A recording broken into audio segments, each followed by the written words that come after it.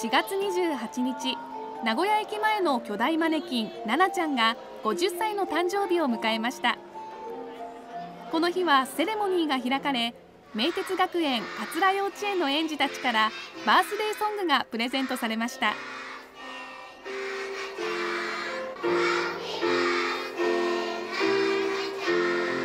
い、では最初におめでとう。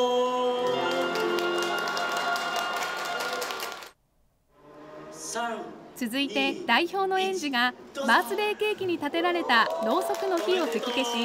みんなでナナちゃんの誕生日をお祝いしました。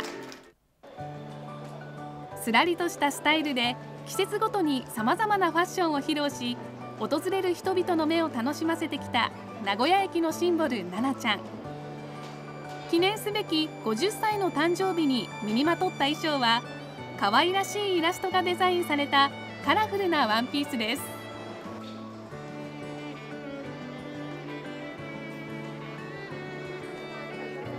この日は777個の記念品が配られ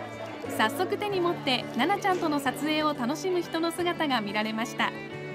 名鉄百貨店では9日まで記念グッズを販売し期間中この衣装も見られるということです。